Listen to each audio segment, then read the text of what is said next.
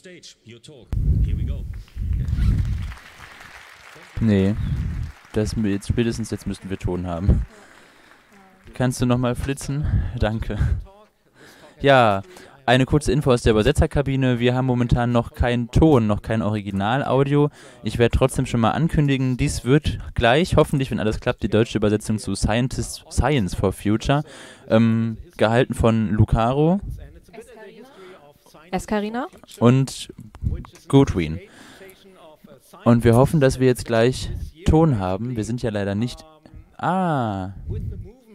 Mit der Bewegung von Schülern und Leuten bei Fridays for Future und sie wurden gefragt, ähm, hey, wir wollen eine Zukunft, wir wollen, dass sich Dinge verändern. Und sie haben die Politik, von der Politik verlangt, sich zu ändern. Es hat sich noch nicht viel getan, aber es wurde in Frage gestellt und professionelle Politiker haben gesagt, hey, wir müssen es den Profis überlassen und das ist der Punkt, wo viele Wissenschaftler, also wirklich viele Wissenschaftler, die ich kenne, die waren total wütend und haben gesagt, wir machen hier Wissenschaft, wir machen Forschung und für so viele, schon seit so vielen Jahren und äh, ich weiß nicht, ob ihr schon Präsentationen gesehen habt, aber wie viel Mühe wir da reinstecken und diese Nachforschung, um sie besser und besser und besser, um bessere Modelle zu entwickeln und Trotzdem sagen sie, es den Profis überlassen. Und wir wollen zeigen, dass diese Präsentation über die Ergebnisse ähm, ist und dass sich immer noch nichts ändert. Also sie schreiben Paper und äh, machen Veröffentlichungen, aber es passiert einfach nichts. Und die einzigen Sachen, die wir sagen können, ist, ja, sie haben recht, Dinge müssen sich verändern. Und das ist, warum wir hier zusammengekommen sind und diese Vereinigung gegründet haben. Es gibt eine Charta, die im Prinzip sagt, oder die sagt, was wir im Prinzip tun. Wir sollen, wir gehen raus und wollen Leute informieren über die aktuelle Wissenschaft, über die aktuelle Forschung informieren und wie die Situation momentan ist. Und das ist auch der Grund, warum wir hier sind. Das ist genau das, was wir auch hier tun. Wir gehen raus, egal wohin ihr seid und ähm, ihr könnt auch zu uns kommen und auch Fragen nach äh, Präsentationen, nach Vorträgen, nach Podiumsdiskussionen, um Informationen über dieses Topic, über dieses Thema zu bekommen und ähm, was dieses Klimawandelproblem überhaupt bedeutet. Und jetzt noch einen kurzen Disclaimer. Ich kann euch schon jetzt sagen, das ist kein Talk, der gute Stimmung verbreitet. Also, ja, das Thema ist ziemlich, ziemlich ernst. Ähm, es ist ein bisschen anders, als ich es sonst tun würde. Also, am Ende wird es ein bisschen besser aussehen als äh, am Anfang. Aber ja, wo sind wir im Moment? Das ist ein aktueller Graph und das ist ähm, Nachforschung, die nicht nur ich gemacht habe, sondern auch von IPCC-Veröffentlichungen. Ähm, ähm, das ist der IPCC-Report vom letzten Jahr, der 1,5 Grad Report, der im Prinzip ähm, zusammengestellt wurde, weil ja, es gab ein, eine Übereinkunft in 2015, da wurde gesagt, ja, wir sollten die oder die Welt, die Regierungen der Welt wollen den Klimawandel oder die Temperaturerhöhung weit unter 2 Grad, so weit wie möglich äh, nach 1,5, also unter 1,5 Grad halten. Und wir haben uns die Frage gestellt, können wir das überhaupt erreichen und was müssten wir tun, um das zu erreichen? Und deshalb ähm, gab es viele Fragen zu diesem Thema und viel Nachforschung. Ähm, eine riesige Zahl an Publikationen wurde veröffentlicht und äh, die die Frage gestellt haben, was bedeutet das wenn wir eine 1,5 Grad Erwärmung haben oder eben eine 2 Grad Erwärmung haben und ob es überhaupt möglich ist, den Klimawandel so zu beschränken zu diesen Temperaturen zum jetzigen Zeitpunkt. Und das ist der aktuelle Stand und ich liebe diese Grafik, weil sie viele, viele Aussagen enthält und auch sagt, worüber wir sprechen. Also wir haben eine präindustrielle Ära, die wir als Referenz verwenden. Das ist ähm, die, die Zeitskala von 1860 bis 1900 ähm, wo wir sagen, das ist die, das sind die präindustriellen Prä äh, Temperaturen und ähm, die Veränderungen danach sind, äh, ja, beziehen sich immer darauf und ähm, die 1,5 Grad beziehen sich als Unterschied auf diese präindustrielle Ära. Und Klimawandel ist natürlich nicht immer konstant. Man hat ähm, jedes Jahr ist es ein bisschen wärmer, vielleicht ein bisschen kälter. Also was man machen muss, ist einen Durchschnitt bilden und, und das ist sehr wichtig, weil ähm, als Beispiel, hier ist ein Jahr, genau. 1989, 1998 war ein sehr warmes Jahr und danach gab es äh, für eine Zeit gab es gar nicht mehr so warme Jahre und die Leute haben wieder gesagt, ach ja, die, die Temperatur ändert sich nicht mehr, also alles ist gut. Nein, das ist auf, natürlich nicht richtig.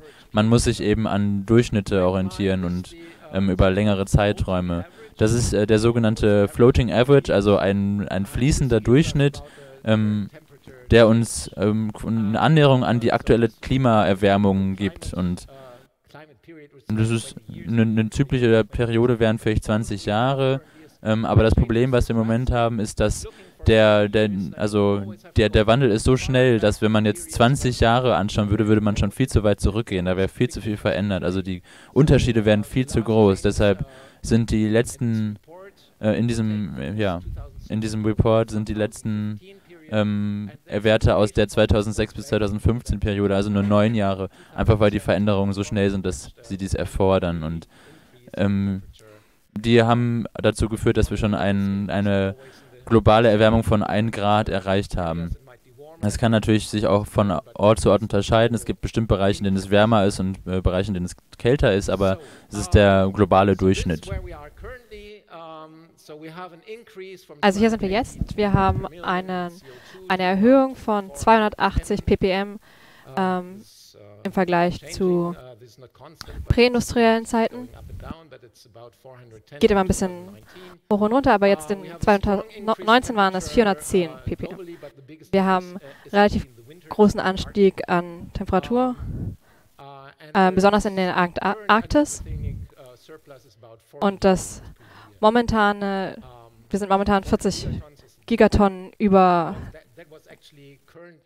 äh, haben wir CO2 über das war also der Durchschnitt von 2011 bis 2017. Also hier jetzt gehen wir direkt in den äh, IPCC-Report. Hier gibt es diese Tabelle. Ich liebe diese Tabelle. Die enthält ganz viel wissenschaftliche Daten, ähm, weil sie sich anschaut, wie viel wir tatsächlich ähm, weiter ausstoßen können, um welchen Temperaturunterschied zu erreichen. Also hier sieht man einmal 1,5 Grad, 2 Grad und dann hat man noch Wahrscheinlichkeiten, wie wahrscheinlich man das verhindern kann oder wie wahrscheinlich das passiert. Also wenn man jetzt mit 2 Sigma, also ungefähr 67 Prozent Wahrscheinlichkeit verhindern möchte, dass man über 1,5 Grad kommt, also müssen, muss man unter 420, also können wir nur noch 420 Gigatonnen CO2 verbrauchen. Also wenn ihr euch erinnert, das waren jetzt 40 Gigatonnen pro, je, pro Jahr hatten wir jetzt. Das hier, dieser Wert ähm, ist eigentlich von 2017, also seitdem äh, sind schon zwei Jahre vergangen und dieser Wert ist seitdem runtergegangen. Wenn man jetzt nur 50% Wahrscheinlichkeit möchte, dann kann man etwas mehr ausstoßen und wenn man jetzt eine größere Chance haben möchte, muss man das genau, anpassen. Ähm, für 2 Grad maximal kann man deutlich mehr ausstoßen. Ähm,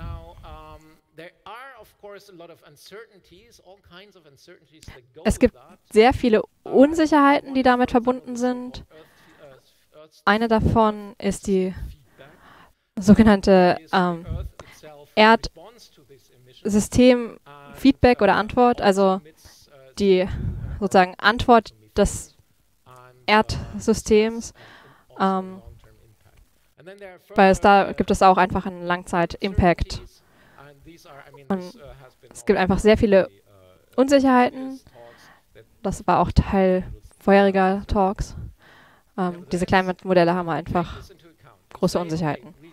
So, aber wenn wir jetzt das alles mit einberechnen und wir wollen und sagen, wir wollen unter 1,5 Grad bleiben mit einer Zweidrittel Wahrscheinlichkeit. Also das nennen sie dann wahrscheinlich. Also es ist dann wahrscheinlich, dass man nicht über 1,5 Grad Temperaturanstieg kommt. Dann können wir nur 100 Gigatonnen CO2, äh, 420 Gigatonnen ausstoßen. Und 100 Gigatonnen werden von der Erdantwort sozusagen ausgestoßen. Okay. Unsere Emissionen sind also 420 Gigatonnen. Die äh, äh, Kohlekraftwerke, die jetzt heute laufen, ähm, planen, stoßen weitere 40 Gigatonnen aus. Also 200 Gigatonnen sind einfach verplant. Weitere 100 bis 150 Gigatonnen ähm, stecken in bereits geplanten Kohlekraftwerken oder welchen, die bereits in Konstruktion sind. Das sind dann insgesamt 420 Gigatonnen. Natürlich ist das einer der Gründe, warum wir äh, Kohlekraftwerke ausschalten sollten. Aber sie sind halt eine Quelle von CO2-Emissionen, äh, die wir haben. Um das klarzumachen, was, was das bedeutet und wo es jetzt hingeht, ist anderthalb Grad Unterschied bis zwei Grad. Was bedeutet das? Es gab hier eine Menge Research, eine Menge Forschung. Das erste ist, oder das erste Beispiel ist in der Arktik. Es gab sehr viele Beiträge zum Thema Eisbären. Natürlich, es geht jetzt nicht nur um die Eisbären. Ähm, es ist wichtig, dass es Eis in der Antarktis gibt. In der Arktis gibt. Denn das Eis reflektiert die Sonne. Und wen, je weniger Reflexionen wir haben, äh, desto mehr äh, Wärme wird durch die Erdatmosphäre eingefangen. Es gibt also hier ein Feedback-System. Natürlich auch, also nicht nur wegen den, also es geht nicht nur um die Eisbären, es gibt auch die ganze Biosphäre, die irgendwie hier überleben muss. Die Wahrscheinlichkeit einer eisfreien Arktis ist dieser Graph, der vergleicht anderthalb Grad. Also es gibt hier die eine Studie mit der äh, gestrichelten Linie und mit der durchgezogenen Linie und die mit 2 Grad. Und das ist die Wahrscheinlichkeit, dass in einer bestimmten Zeitspanne die Arktis eisfrei wird. Und wie Sie sehen, ähm, ist es wahrscheinlich bei anderthalb Grad Erwärmung innerhalb von 45 Jahren eine eisfreie Arktis zu bekommen. Es ist durchaus möglich mit, diesem, mit, diesem, mit der Zunahme, also in 45 Jahren. Gehen wir zu einer 2 Grad Zunahme, dann ist es wahrscheinlich mit je nach Studie äh, äh, wahrscheinlich, dass wir in fünf bis zehn Jahren eine eisfreie Arktis haben. Jetzt ging es bisher um Eis und die Arktis. Da wohnen nicht so viele Leute. Es gibt natürlich auch andere Studien. Zum Beispiel hier ähm, die Bedingungen in Afrika. Ich muss mich kurz halten, ich könnte Stunden reden.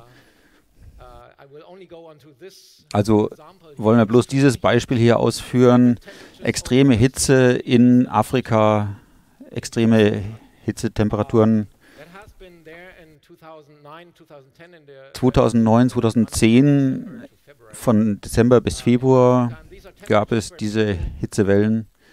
Das sind Temperaturen, wo Menschen nicht mehr außen sein können, weil es einfach zu heiß ist. Und dann äh, haben wir hier diese Wahrscheinlichkeitsdichte-Funktionen, die zeigen, wie oft, also jede, jede dieser Stufen zeigt, wie oft das zu, äh, zutrifft, äh, passiert. Ähm, der momentane Status ist die Temperatur von 2006 bis 2016. Das ist, ist der Status quo. Und jetzt gibt es bereits eine Zunahme der Temperaturen. Unter diesen Bedingungen ähm, wird wohl doppelt, zwei, zweimal in 100 Jahren werden diese Hitzeereignisse tre treffen. Wenn wir uns die blaue Kurve angucken, ähm, passiert das jedes dritte Jahr. Bei 2 Grad Zunahme passiert das noch häufiger. Also Menschen, die dort wohnen, für die ist es hart, einfach dort zu wohnen. Wenn wir uns Australien anschauen als Beispiel, dann haben wir die gleiche Entwicklung. Es sind immer die gleichen Kurven, extreme Hitzetemperaturen. Also, das war klar. Aber was auch für Australien wichtig ist, ist die Wassertemperatur. Wegen den Korallen, die dort äh, leben. Also äh, warme, hohe Wassertemperaturen führen zum Ausbleichen der Korallen. Und natürlich ist die Temperatur nicht jedes Jahr die gleiche, aber es gab da diesen heißen Sommer äh, mit entsprechend extremem Korallenausbleichen im Sommer 2012. Ja, und wie häufig das passiert, ähm, kann man schon sehen, das wäre die natürliche, also die präindustrielle Ära, ähm, wo die, diese sehr warmen Temperaturen fast gar nicht vorkommen. Aber hier kann man sehen, aktuell ist es jedes dritte Jahr, bei 1,5 Grad Erwärmung wäre es jedes zweite Jahr und bei der 2 Grad Erwärmung wäre es wahrscheinlich sogar zwei aus drei Jahren. Also ja, das ist ein Beispiel für Europa, wie häufig solche Dinge passieren. Ich erinnere mich ständig an, dieses, an diese Tabelle, ähm, weil es, ja, es gab eine sehr warme, einen sehr warmen Sommer 2003 und da sind viele Leute auch gestorben an der Hitze. Und ich erinnere mich, dass ich äh, in Köln war damals und dass ich, ich lag draußen und ich war krank. Ich hatte 40 Grad Fieber und es war auch draußen 40 Grad warm, also es war verdammt warm. Das kann passieren. Das könnte einmal alle 100 Jahre passieren. Aktuell haben wir eine Situation, wo es ungefähr jedes vierte Jahr passiert und das erhöht sich zu über 95 Prozent ähm, bei 2 Grad Erwärmung. Also häufiger als jedes zweite Jahr ähm, würde das vorkommen, dass die Temperaturen so warm werden, dass da Leute sterben und man nicht mehr rausgehen kann. Ähm, jetzt gehe ich nochmal zurück zu diesen Re Veröffentlichungen vom IPCC. Die sind ziemlich diplomatisch gehalten, also ziemlich konservativ, ziemlich zurückhaltend. Ähm, die, sie sagen einfach nur, sie hätten Gründe zum Bedenken. Klingt natürlich erstmal schön, aber das hat natürlich Hintergrund, dass sie sich so zurückhalten. Ähm, in der Zusammenfassung vom IPCC-Report aus 2018 gibt es fünf Gründe für also also einzigartige bedrohte Systeme wie Koralle, Korallen, dann ähm, extreme Wetterverhältnisse, ähm, was auch schon jetzt einen ziemlichen Unterschied macht und ähm, wärmere Temperaturen. Also hier oben sieht man 2 Grad, also zwischen 1,5 und 2 Grad macht einen ziemlichen Unterschied. Also Verteilung von Umweltkatastrophen. Ähm, das bedeutet im Prinzip, dass die, die am meisten ähm, da, darunter leiden, also unter den Klimabedingungen, haben am wenigsten dazu beigetragen, ähm, weil die Leute, die dazu am meisten beitragen, die leiden da gar nicht so darunter und deshalb werden sie sich auch nicht verändern. Und genau das ist halt ein Problem. Das ist das Problem, warum sie darüber Bedenken haben. Dann, ja, die, die Summe aller ähm, Schäden, die durch den Klima entstehen, Klimawandel entstehen, das sind im Prinzip Kosten, die da aufsummiert werden. Also die Kosten, ähm, die wir haben, um mit, dem, mit den Auswirkungen auszukommen und das wird Billionen kosten, also ähm, Billiarden an Dollar am Ende und ähm, da ist auch wieder der Unterschied zwischen 1,5 und 2 Grad enorm. Jährlich mehrere Billiarden Dollar, um damit auszukommen. Und dann ist es auch nochmal hier die Wahrscheinlichkeit von einzelnen, aber besonders schwerwiegenden ähm, Ereignissen, wie zum Beispiel dem Enteisen der, der Polkappen. Das ist ziemlich abstrakt. Also werden sie jetzt ein bisschen konkreter. Warmwasserkorallen, ähm, da haben wir schon jetzt Probleme. Ich werde es gleich nochmal zeigen, aber wir erwarten, dass 90% der Korallen sterben bei 1,5 Grad Erwärmung, also komplett aussterben. Ähm, und zwar, das ist sehr wahrscheinlich, also mit ziemlicher Sicherheit. Das ist, es ist total wichtig für Leute, die von der, von der See leben, äh, von den Fischerträgen, ähm, weil in den Korallen, ja, da, das, ist, das ist natürlich die Kindheit, Kinderstuben von vielen Fischen und ähm, das hat eine ziemliche Auswirkung auf äh, die Fischindustrie und auf die Fischerei und natürlich auch auf das Artensterben. Ähm, Ja, das ist im Prinzip immer dieselben Geschichten. Es, da, da leben einfach viele kleine Fische, die dann aussterben. Die arktische Bereiche bekommen mehr und mehr zunehmend Probleme mit der Enteisung. Da werde ich später auch nochmal drauf eingehen. Ähm, wir werden mehr und mehr Fluten, also Küstenregionen geflutet haben. Ähm, also angefangen bei F Überflutung von, von Flüssen bis halt Überflutung von Küstenregionen. Also und dann natürlich auch eine, eine Steigerung der Todesrate, die auf Hitze zurückzuführen ist. Und hier auch die, die Auswirkungen auf die Landnutzung. Ähm, das ist halt nochmal, das, das steckt nochmal tiefer in der anderen Skala. Also wir haben jetzt hier ähm, eine Skala, die geht von 1 bis 5 Grad, also nicht mehr nur die 2 Grad. Ähm, wenn man sich das anschaut, es ist ein bisschen unterschiedlich. Also die niedrigeren 1,5 und 2 Grad Erwärmung sind auch da drin, aber die Probleme, die da zu sehen sind, sind halt eben äh, Trockenheit und Trockenheit, also komplett ausgetrocknete Gebiete und halt eben auch Wasserknappheit in trockenen Gebieten und Erosion, also Bodenerosion, Verlust von Vegetation, also natürlich auch wieder dann da Artensterben. Ähm, da werde ich später auch nochmal drauf zurückkommen. Ja, der, die Schäden durch äh, offene Feuer, also durch, durch riesige Feuerprobleme, wie man momentan ist es Chile und Australien, vorher war es eher so Kalifornien. Also man sieht es auch jetzt schon überall und das wird nur noch so weitergehen. Das ist kein Zufall, dass das passiert. Ähm, die Degradierung von Permafrostgebieten, ähm, der, ja, also der Rückgang von tropischen Setzlingen oder von tropischen Arten und das wird natürlich auch dann zu Instabilitäten in der Nahrungsversorgung führen. Also da ist auch jetzt schon ein Unterschied zu merken und auch ein Unterschied zwischen 1,5 und 2 Grad zu merken. Und auch da sind sie nochmal ein bisschen spezifischer und beschreiben nochmal, was sie damit meinen. Also zum Beispiel ähm, hier der Scha Schäden durch Wildfeuer. Ähm, also hier zum Beispiel über 50 Prozent äh, Steigerung ähm, von, von, von, ja, von Regionen, die in der mediterranen Gegenden abgebrannt werden. Und wenn man zu 4 oder 5 Grad geht, dann äh, erwarten sie über 100 Millionen von, von Leuten, die da ja, diesen Feuern ausgesetzt sind, also den Lebensgefahren, die damit einhergehen. Ähm, was die ja, Instabilitäten in der Nahrungsversorgung angeht, ist, was wir jetzt schon sehen. Wir haben halt immer wieder ähm, spontane Erhöhung der, der Nahrungsmittelkosten, ähm, was für uns jetzt nicht mal so schlimm ist, weil wir in der ersten Welt leben, aber für die Leute, die in der dritten Welt leben und wenig Geld haben, äh, für die ist das dann ziemlich schwierig, ähm, ja, davon zu leben. Ähm, es gibt viele, viele Billionen Leute, die auf der Welt von weniger als zwei Dollar pro Tag leben. Also für diese Leute ist es verdammt wichtig, wie teuer die Nahrungsmittelpreise sind.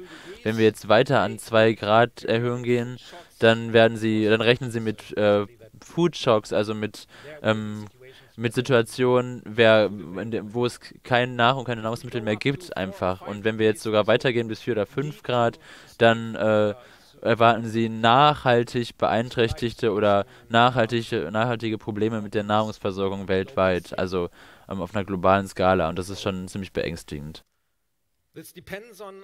Also, es kommt eben darauf an, welches Szenario wir berechnen. Aber da kommen wir noch später dazu. Eine weitere Sache, über die man nachdenken muss, ist, dass, man, dass wir nicht nur über die Temperatur reden. Wir reden auch über die Ozeane der Welt. Und die nehmen ganz viel CO2 auf momentan, was wir so ausstoßen. Und ähm, damit ähm, verringert sich der pH-Wert des Wassers und das verändert die Fische im Wasser, die dann wieder Kohlenstoff ähm, und Calcium produzieren oder dann ändern sich die Konzentrationen, weil sie Calciumcarbonate ähm, bilden. Und wenn das nicht mehr passiert, dann stört das die ähm, Presskette im Ozean und das ganz am Anfang. Und ich habe diese Grafik gefunden und da wurde gesagt, dass man diesen Impact halt hat. Und es gibt einen Punkt, an dem dieser Aufbau bei den Tieren nicht mehr möglich ist, weil die chemischen Reaktionen nicht mehr funktionieren. Das hängt von der Temperatur im Wasser an und von der, vom Druck. Und, und was man hier auf der rechten Seite sieht, da haben sie das primär bei den Polregionen beobachtet oder berechnet. Also der Punkt, an dem dieser Punkt die Oberfläche des Ozeans erreicht, ist ab 2030. Dann können Tiere im Ozean und äh, in den Polregionen nicht mehr dieses Calciumcarbonat aufbauen. Und das wird dann eben einen großen Einfluss auf die Presskette im Ozean haben. Und das ist eben eigentlich ähm, ein, ein Kohlenstoffaufnahmesystem. Ähm, also die nehmen CO2 auf und sinken zum Grund des Ozeans. Aber wenn das nicht, also wenn das nicht passiert, dann funktioniert diese Art von CO2-Abbau nicht mehr. Okay, hier gehe geh ich ganz kurz rüber. Das sind alles Dinge, die passieren bei verschiedenen Erwärmungen, also verschiedene Szenarien, die passieren. Zum Beispiel, wenn hier nur 1,5 Grad Erwärmung oder weniger kommt, dann eben von Erwärmung von 1,5 bis 2 und dann von 2 bis 3 Grad. Da passiert alles Mögliche. Das ist relativ große Tabelle in diesem Report. Ähm, ihr solltet die lesen. Also die sind wirklich wichtig und die sind wissenschaftlich wirklich gut, diese Paper. Und da ist wirklich viel Literatur und die referenzieren sich gegenseitig und zeigen, wie sie diese Berechnungen machen und sagen wirklich, wir sind sicher mit dieser Wahrscheinlichkeit, dass etwas eintritt. Also wissenschaftlich sehr fundiert. Also ich werde nicht das alles nicht im Detail machen, aber der Impact passiert in allen möglichen Regionen der Welt, also zum Beispiel zum, in Südostasien. Da haben sie eben Risiko von erhöhten Fluten, also erhöhtes Risiko von Fluten. Und was ich glaube, dass das Wichtigste ist, oder ist äh, Reduktion von, ähm, von Nahrungsmittelherstellung. Und wenn wir unter 1,5 Grad bleiben, dann wird das hier verhindert. Also dann ähm, ist, verhindern wir, dass es ein erhöhtes Risiko von Nahrungsmittelreduktion gibt. Und bei 1,5 bis 2 wird, das, wird dieses Risiko steigen und nach 2 Grad auch noch mehr. Es gibt noch ein paar andere Sachen, die wir auch schon wissen. Also zum Beispiel, dass das, der Meeresspiegel steigt. Und da ist nicht nur das Problem, dass das Meereswasser über Inseln flutet oder so, sondern dass es dann auch mit dem höheren Meeresspiegel geht das Salzwasser auch in Süßwasserquellen. Und, und das ist auch schon ein Problem bei 1,5 Grad, dass eben diese Süßwasserquellen ähm, durch Salzwasser verunreinigt werden. In mediterranen Gebieten, also in der Nähe von uns,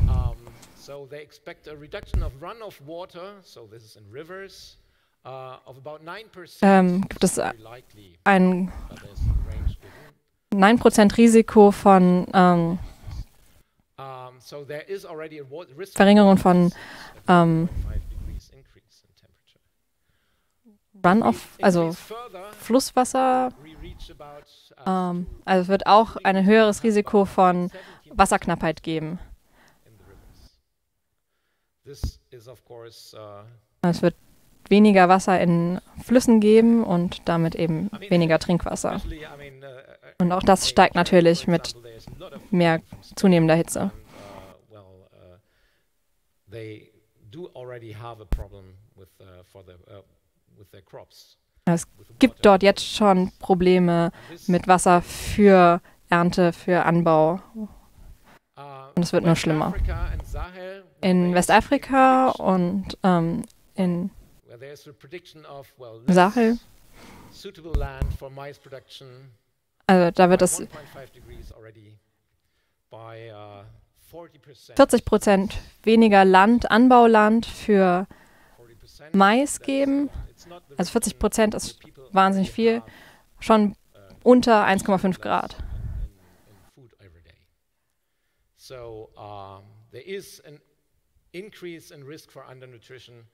Also es erhöht schon sich das Risiko, dass Leute nicht genug Nahrung bekommen, schon bei unter 1,5 Grad.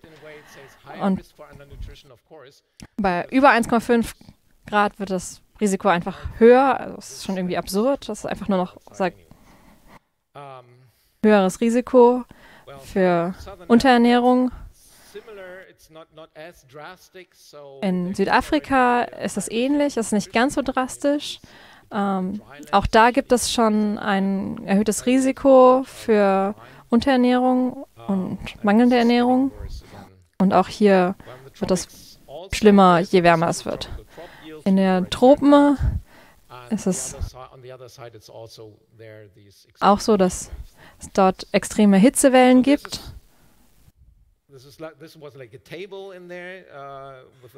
Also das ist eben eine Tabelle in dem Report mit ganz vielen Details, was alles zu erwarten ist bei verschiedenen Erhöhungen des, der Klimawerte. Und es gibt also die Wissenschaftler gucken Verschiedenes an und eine sehr beunruhigende Sache ist, ähm, also Klimawandel gab es schon immer. Es gibt so Zyklen.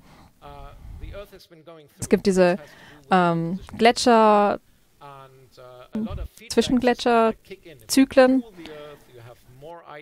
Und es passiert sozusagen immer, die Erde, es wird kälter, Gletscher bilden sich, Sonnenlicht wird reflektiert, dann wird es wieder wärmer und Gletscher reduzieren sich und diese Zyklen gab es schon immer, ähm, aber jetzt haben wir diese normalen Zyklen, diese Kreisläufe verlassen.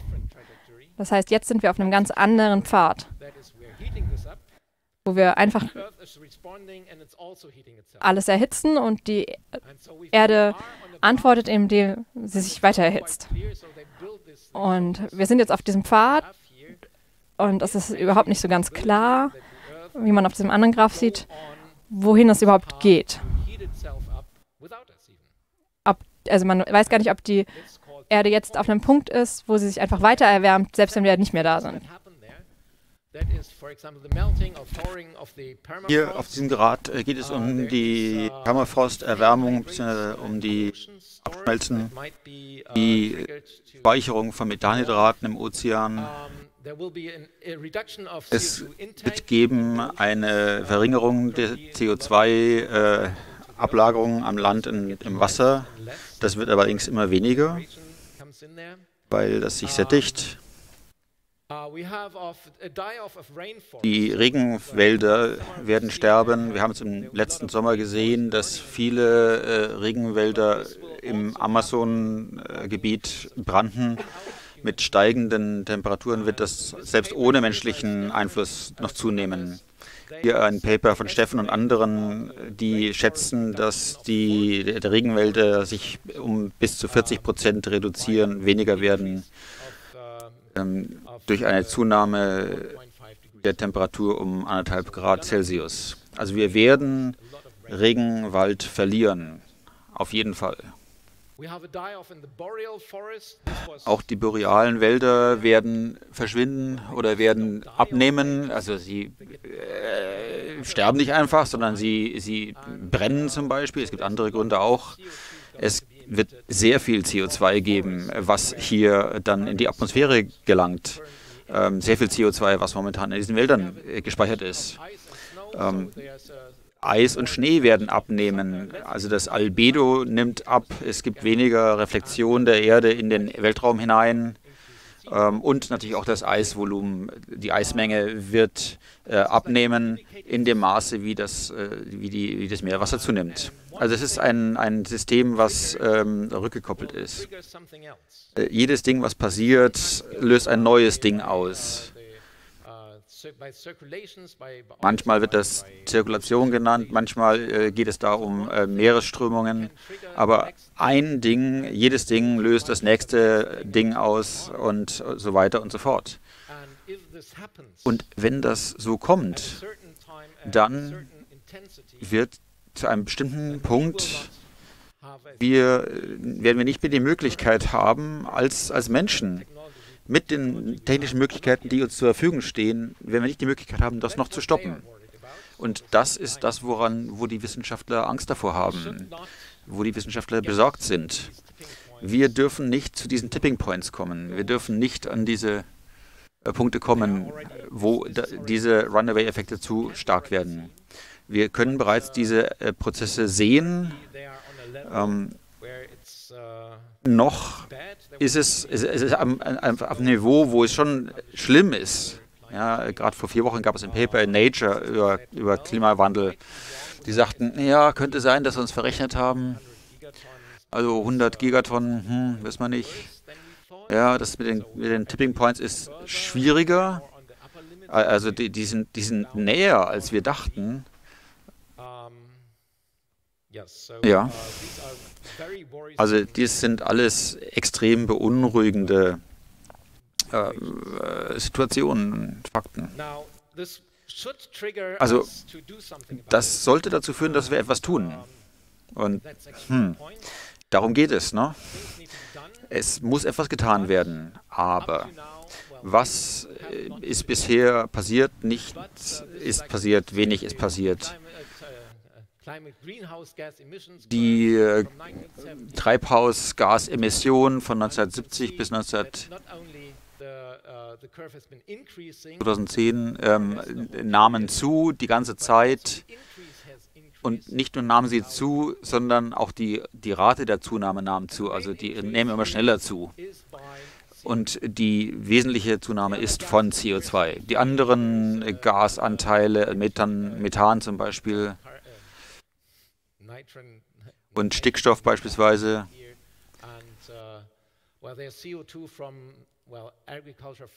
Also CO2 aus Agrikultur, aus Waldwirtschaft und so weiter ähm, sind mehr oder weniger konstant. Es gibt manchmal da so kleine Spitzen. Das einzige Jahr in der äh, jüngeren äh, Vergangenheit, wo es mal eine Abnahme gab, das war 2008, äh, die Wirtschaftskrise. Da gab es tatsächlich mal eine Abnahme von 4 Prozent. Ja. Also nichtsdestoweniger, äh, die Wissenschaftler haben gesagt, lasst uns berechnen, wie können wir das schaffen, unter anderthalb äh, Grad zu bleiben nehmen wir verschiedene Szenarien an. Okay, manche sagen, mm, nehmen wir anderthalb Grad als Grenze, manche sagen, nehmen wir höhere Temperaturen an. Später sind sie dann doch wieder auf anderthalb zurückgegangen. Also man kann sich das zu verschiedenen Szenarien zurechtrechnen. Wenn wir jetzt also sagen, wir nehmen hier anderthalb Grad ohne äh, CO2-Reduzierung, nehmen wir an, wir haben die nicht, ja und nehmen eine exponentielle Kurve, wo wir jedes Jahr dieselbe prozentuale Abnahme erfahren von CO2 und wir wollen zu anderthalb Grad oder unter anderthalb Grad bleiben. Das sind die Kurven von ne, 2018. Wir hätten anfangen sollen, ähm, also wenn wir in 2019 angefangen hätten, dieses Jahr angefangen hätten, müssten wir jedes Jahr 18 Prozent weniger CO2 ausstoßen.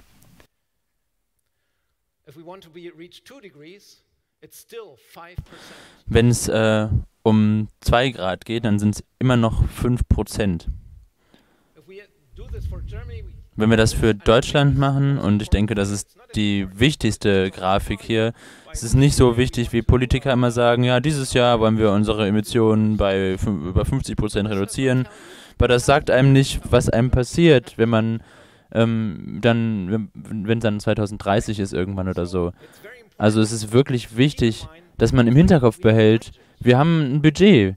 Und das ist irgendwann aufgebraucht. Ähm, es gibt tatsächlich auch ein Paper, das heißt globales Kohlenstoffbudget oder Budget.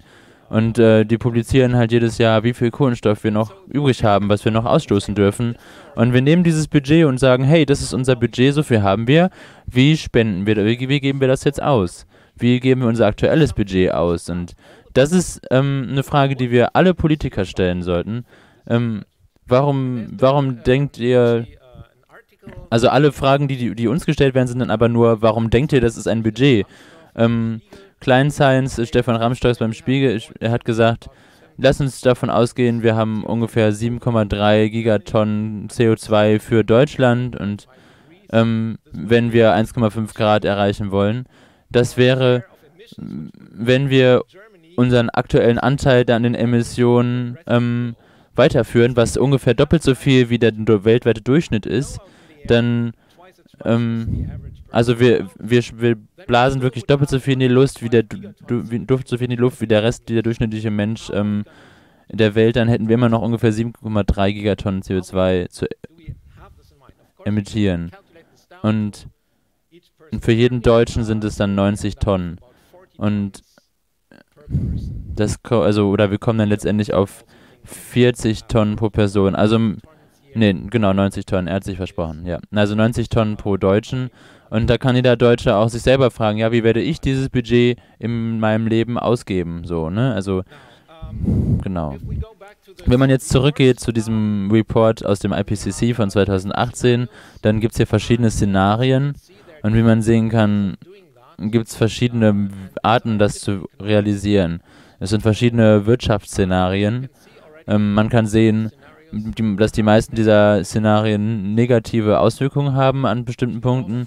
Äh, alle haben. Also alle haben negative Auswirkungen. Manche von denen ähm, schließen irgendwie die, die Lagerung von CO2 ein und abhängig davon, welches äh, Wirtschaftsszenario man nimmt, ist das mehr oder weniger Einlagerung von CO2. Also hier geht es um ungefähr 20 Gigatonnen ähm, pro Jahr, die zum Beispiel im Boden ges äh, gespeichert werden sollen, gelagert werden sollen. Ähm, dann hier geht es um agrikulturelle und, äh, Wirt und äh, Waldnutzung, also landschaftliche Waldnutzung. Ähm, das ist ein ziemlich effizienter Weg, das zu machen, aber natürlich die, also wir haben nicht unbegrenzt Erde, unbegrenzt Land auf der Erde zur Verfügung und ähm, deshalb ist die, der Bereich, den wir dafür nutzen können, ähm, immer wird auch immer geringer, auch eben durch den Klimawandel. Auch das muss man im Hinterkopf bewahren. Also auch das ist keine problemlose Möglichkeit. Die Grundlage aller dieser Szenarien ähm, haben sie wieder in eine Tabelle getan. Ich habe hier ein paar Bilder dafür rausgesucht. Also wenn wir 1,5 Grad erreichen, was, was müssen wir tun? Wir, müß, wir müssen eine Entkarbonisierung unserer Energieversorgung durchführen, und zwar rapide und schnell. Wir müssen sehr, sehr schnell ähm, unsere Energieversorgung umstellen von traditionellen, herkömmlichen ähm, Quellen auf moderne, nachhaltige Quellen. Wir müssen mehr, mehr Absprachen und wir müssen mehr Forderungen stellen und wir müssen weniger verbrauchen und ähm, ja, kleinere, also zurückhaltender werden in der Nutzung von Dingen. Und der dritte Teil ist, wir müssen das innerhalb der nächsten zehn Jahre machen. Also wir können damit nicht warten, die Zeit drängt. Das ist wirklich, wirklich dringend. Das ist nochmal eine Tabelle. Äh, tut mir leid nochmal für die Tabelle. Aber die, die Hauptaussage ist, ähm, die Reduktion, die wir durch CO2-Emissionen erzielen können, ähm, auch andere äh, Treibhausgase sind in diesen 2-Grad-Szenarien enthalten. Wir müssen anders investieren, also müssen die ähm, Invest also Investmentziele ändern und mehr und stärker investieren. Die besten Optionen für das 1,5 Grad Szenario sind die, die ja über eine nachhaltige Entwicklung nachdenken, weil wenn Leute kein, kein Essen haben, keine Nahrung haben, haben sie keine Möglichkeit, ähm, sich um das Klima zu kümmern, weil das Erste, was sie machen, ist zu versuchen zu überleben. Ähm, also müssen wir auch darüber uns Gedanken machen und müssen uns Gedanken darüber machen, wie können Menschen auf diesem Planeten weiterleben. Das hilft dann auch wiederum, das Klima zu schützen. Und dann sagen sie, ja gut, wir haben, wir müssen wahrscheinlich äh, über ähm, Einlagerung von, von Carbon, also von Kohlendioxid äh, nachdenken und da haben sie jetzt vielleicht auch schon was einge also überlegt. Und wir müssen von fossilen Energiequellen zu ähm, modernen, nachhaltigen Energiequellen ähm, im, im Endbenutzerbereich auch umstellen. Ich möchte jetzt über CDR sprechen, also über die Einlagerung von Kohlenstoffdioxid. Oder, ja genau, es gibt verschiedene Optionen dafür. Also das eine ist halt eben durch nachhaltige Waldwirtschaft oder durch nachhaltige Landnutz, ähm, zum Beispiel ja, auch irgendwie durch äh, Wasserkarbonisierung. Dann gibt es natürlich die Biomasse, also wir wollen Gas produzieren, ähm, das dann verbrennen und das äh, CO2 einfangen. Und was wir natürlich auch machen können, ist, dass man irgendwie die Luft einfängt und ähm, ja, irgendwo dann, äh, irgendwo dann ab, ab, einlagert. Das sind Maschinen, die das machen für, also die, sie saugen CO2 aus der Luft und das muss man dann irgendwo einsta also einlagern. Und ähm, solche Maschinen hier das sind Modelle ähm, aus dieser Zeit. Also das sind existierende Modelle aus, aus dieser Zeit. Und ja, die können 1000 CO2 Tonnen, Tonnen CO2 pro Jahr einsaugen. Also wenn wir nach Gigatonnen gehen müssten, dann müssen wir Millionen dieser Maschinen bauen. Und ja, das skaliert natürlich nicht. Das Problem ist auch, was auch in diesem Report, also Lackner aus 2015 diskutiert oder besprochen wird, ist, ähm, dass also eine Energienutzung von ungefähr 12,9 Gigajoule pro Tonne CO2, also wenn wir wenn wir 50 Tonnen pro, 50 Gigatonnen CO2 pro Jahr einlagern wollen, was halt eins der Szenarien ist, müssen wir ein Viertel der globalen Energieversorgung benutzen, nur um atmosphärische Müll, Atmospheric Waste Management zu betreiben.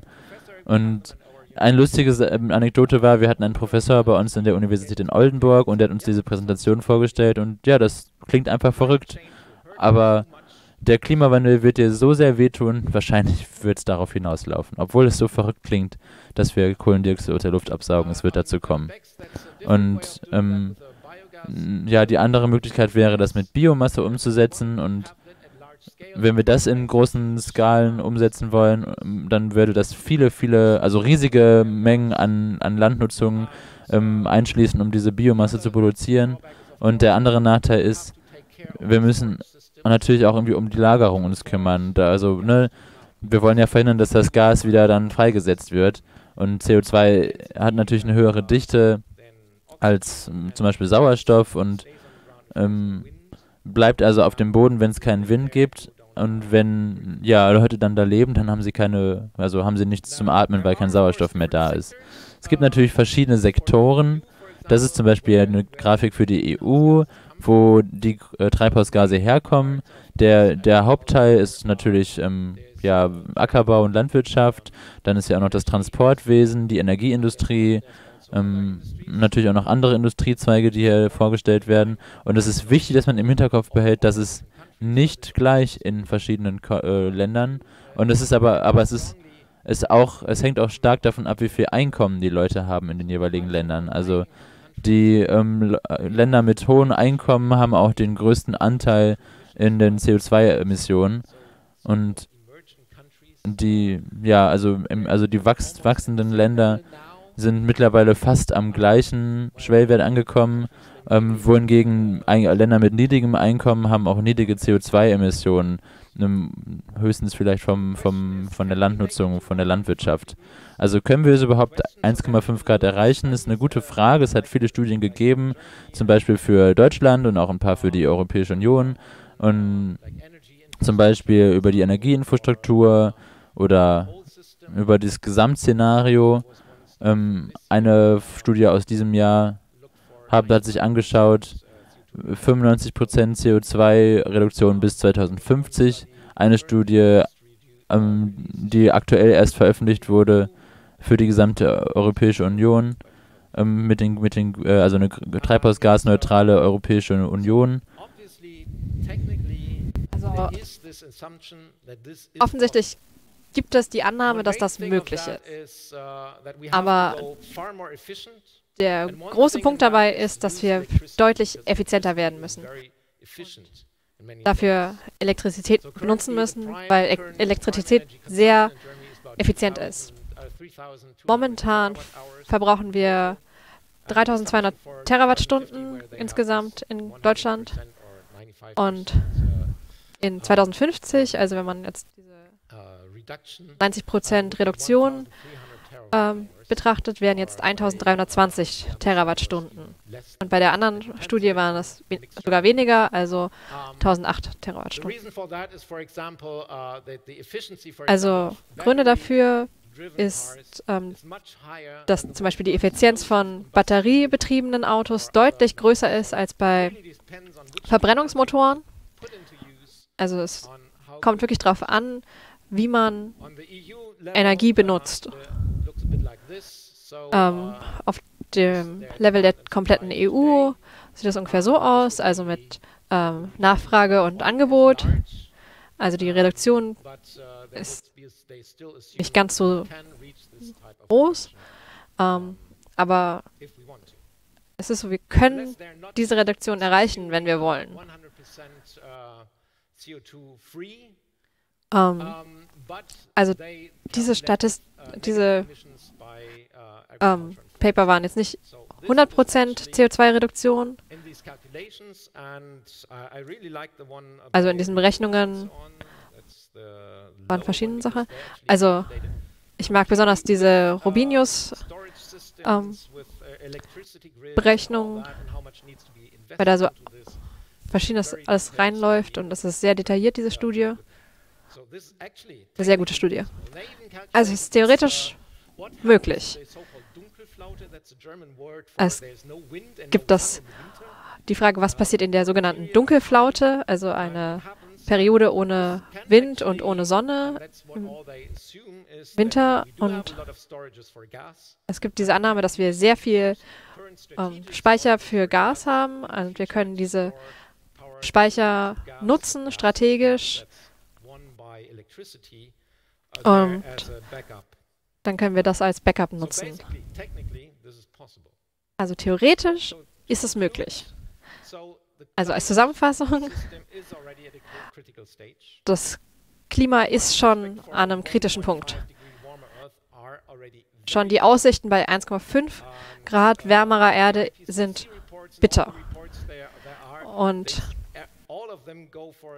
der IPCC-Report ähm, versucht zu zeigen, dass schon also 2 Grad wirklich sehr, sehr ähm, schlimm ist und also diese Carbon, Kohlenstoffdioxid ähm, Removal ist ähm,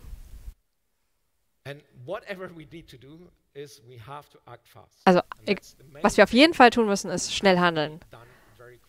Also egal was, wir müssen wirklich unglaublich schnell handeln. Und es tut mir leid, aber unsere Regierung Boah. Um, yes.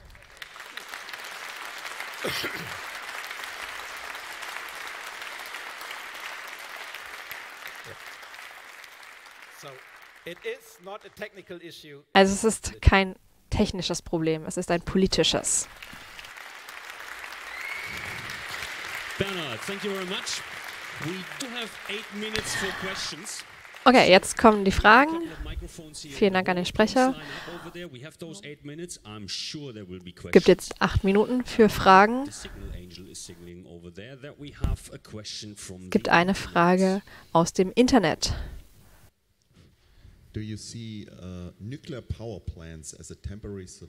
Siehst du nukleare Energie als Zwischenlösung?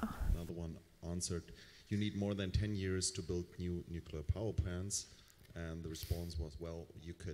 Und es gab dann die Antwort, man braucht über zehn Jahre, um äh, neues äh, nukleare Powerplant zu bauen. So, die Diskussion ist tatsächlich eine momentan geführte, aber ein Problem ist dabei, dass man die äh, Kraftwerke nicht einfach, die alten nicht einfach wieder anschalten kann. Man muss die irgendwie wieder anschließen an das System und dann gibt es halt Sicherheitsfragen und Probleme und wenn man die verhindern, umgehen möchte, dann muss man sehr viel Geld und Zeit und ähm, Effort da reinbringen, dass man alte nukleare Kraftwerke wieder zum Laufen bringt. Und ich denke, es gibt bessere Wege. Also man könnte es tun. Und also wir wissen, was die Risiken sind nach Fukushima und Tschernobyl. Und ich würde sagen, es ist wahrscheinlich nicht der beste und schnellste Weg. Okay, then we're going to hop over to microphone number one. Ja, vielen Dank für Ihren informativen Vortrag. Meine Frage ist die folgende. Es gab an der Universität einen, einen Vortrag vor anderthalb Jahren an der Universität Darmstadt, wo jemand die IPCC-Vorhersagen verglichen hat mit den wirklichen Entwicklungen der Temperatur und den wirklichen Schäden durch äh, Klimawandel. Was der Report herausgefunden hat, ist, dass der IPCC immer, fast immer ähm, die Effekte und auch die Erhöhung der Temperatur unterschätzt hat. Haben Sie von dieser Kritik gehört? Denken Sie, das ist immer noch der Fall? Ja, ich äh, hoffe nicht. Das Problem ist natürlich, dass das IPCC oder dass die IPCC-Reports-Berichte immer sehr vorsichtig äh, vorsichtige Entscheidungen sind und sehr sorgfältig sich das alles anschaut. Sie sind sehr konservativ und irren eher auf der konservativen Seite. Ähm, und deswegen sind die Vorhersagen oft auch niedriger, als sie dann wirklich sein werden, einfach auch wegen des politischen Druckes. Und wenn sie äh, zu hohe, hohe Temperaturen vorhersagen würden, gäbe es sofort die Kritik, ähm, dass die Wissenschaftler hier Panikmache erzeugen würden. Deswegen, deswegen ähm, äh, bleiben sie eher unter den Vorhersagen, mit den Vorhersagen unter, obwohl sie so genaue Vorhersagen wie möglich treffen. Ja, das genau, das habe ich auch gehört. Ja. Am Ende des Tages ist es eine Zusammenfassung für die äh, Policymakers, für die Politiker. Ähm, tatsächlich haben auch ähm, Regierungsorganisationen äh, hier mitgewirkt und auch für diesen Bericht gestimmt. Also sie bringen die mit hinein, lassen die mitarbeiten und auch die Regierungen müssen diesem Bericht zustimmen. Deswegen ist das am Ende sehr diplomatisch formuliert. Ähm, und umso mehr ist das also ein, ein Grund äh, zu großer Sorge. Okay, zuerst vielen Dank für den Talk. Alle gute Stimmung ist jetzt vorbei. Wenn Sie das als politisches Problem sehen, haben Sie irgendeine Idee, wie man Politiker dazu zwingen könnte, die richtigen Entscheidungen zu treffen. Weil scheinbar funktioniert, reicht das nicht, wenn wir wählen und protestieren.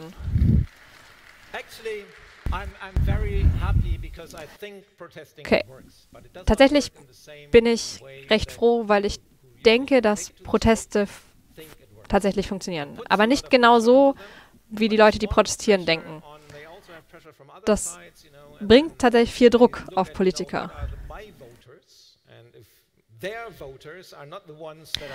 Das bringt Politiker dazu zu gucken, welche sind meine Wähler und wenn die jetzt nicht auf den Straßen stehen, dann ist das vielleicht nicht ganz so viel Druck, aber wenn man also aber ich denke trotzdem ein wichtiger Punkt ist auf die Straße zu gehen und auch mit den Leuten zu reden. Also besonders mit denen, die nicht auf der Straße stehen jetzt. Also die potenziellen Wähler von denjenigen, die denken, ich muss mich da jetzt nicht drum kümmern, weil meine Wähler stehen da ja nicht. Also geht raus und sprecht. Also damit der Druck erhöht wird. Mit den Leuten, die auf, der Straße, auf die Straße gehen. Um den Druck auf die Politiker zu erhöhen. Und wir haben hier Angela Merkel, also unsere Kanzlerin, und sie ist Physikerin. Also sie weiß das, sie versteht das. Es ist nicht so, als ob sie das nicht wüsste. Es ist einfach nur, dass der Druck von der falschen Seite kommt. Ja, und wir haben Zeit für eine letzte Frage, bitte von Mikrofon 3. Ja, danke auch von meiner Seite für diesen sehr informativen Vortrag. Von, dem, von der Beschreibung hatte ich mehr über, ja, über die ja, über die Klimaskepsis und über die Zurückhaltung und über die Argumente davon, da hätte ich jetzt mehr darüber erwartet. Und ich habe mit vielen Leuten darüber diskutiert, auch mit vielen Klimaskeptikern. Und was die häufig sagen ist, ähm, also sie kritisieren nicht den Klimawandel, aber ähm, sie kritisieren, dass das der menschgemachte Klimawandel ist oder sagen, dass es halt einfach ein normaler Anstieg an äh, solarer Aktivität ist und damit die Anstieg der Temperatur einhergeht und dass ähm, dieser Diagramm, dieses Diagramm auch nur von 1860 anfängt und wenn man jetzt die letzten, also Jahrtausende anschaut, dann ähm, werden da auch höhere Werte an CO2 in der äh, Atmosphäre festgestellt, aber die Temperaturen korrelieren nicht. Also wie kann man solche Argumente abweisen? Das ist eine gute Frage. Ich ähm, hab da, bin jetzt nicht drauf eingegangen, weil das sind manchmal die einfachen.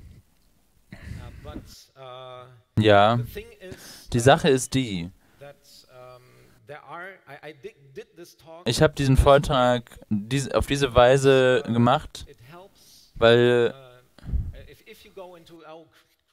wenn man jetzt in, also wenn jetzt Klimaskeptiker sowas sagen und die sagen viele verschiedene Sachen und wenn man jetzt einen ganzen Vortrag darüber macht, was Klimaskeptiker sagen, dann am Ende behalten die Leute im Hinterkopf, oh ja, da gibt es Skeptiker. Aber das ist nicht das, was wir wollen. Ich habe viel über viele dieser Sachen gemacht, weil wenn man das gesehen hat, können Leute rausgehen und sagen, hey, das ist der Stand der Dinge. Da stehen wir momentan. Ich bin jetzt nicht in dieses Klimaskepsis-Thema äh, eingegangen, auch wenn es natürlich, also ja, ne, Sonnenstrahlung ist in allen Klimamodellen eingebaut. Ähm, die Variation von, von Jahrtausenden bevor äh, sind, sind auch schon in den Klimamodellen einberechnet. Ähm, nur wenn man in der Lage ist, das nachzubauen in Klimamodellen heutzutage ähm, oder in der Vergangenheit. Wenn man dann nur dazu, wenn man dazu in der Lage ist, ist man auch in der Lage, äh, das Vorhersagen für die Zukunft zu treffen. Und das ist, wie Klimamodelle funktionieren. Also all diese Variationen, die sind schon alle berücksichtigt worden. Also tut mir leid, aber ähm, wir können da auch später nochmal in Ruhe drüber sprechen. Ich bin da jetzt nicht so darauf eingegangen, es tut mir leid.